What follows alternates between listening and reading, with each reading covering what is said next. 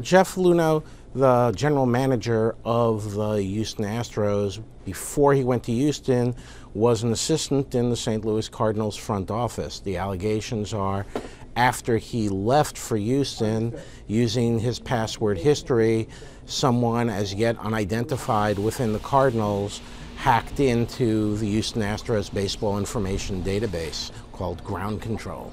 And now federal prosecutors are investigating uh, whether this did in fact occur and whether any crimes were committed.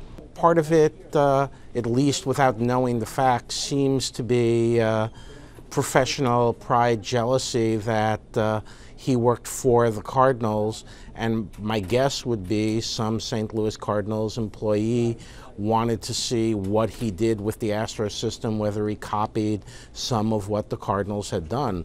Now, we don't know how high up uh, a person who may have committed the hack was, how organized it was. I would tend to doubt it was a top down command, and I would guess it was some of his former colleagues trying to see what knowledge he transported with him when he switched jobs.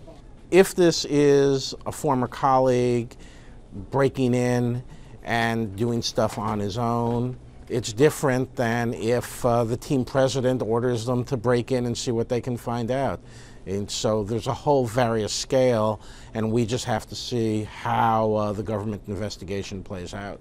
There's a lot going on. I think it's a sexy story because it involves sports and computers in an age where you see hacking accusations all the time, and baseball, perhaps the most pastoral of sports, something from the 19th century, getting uh, caught up in uh, 21st century cybercrime.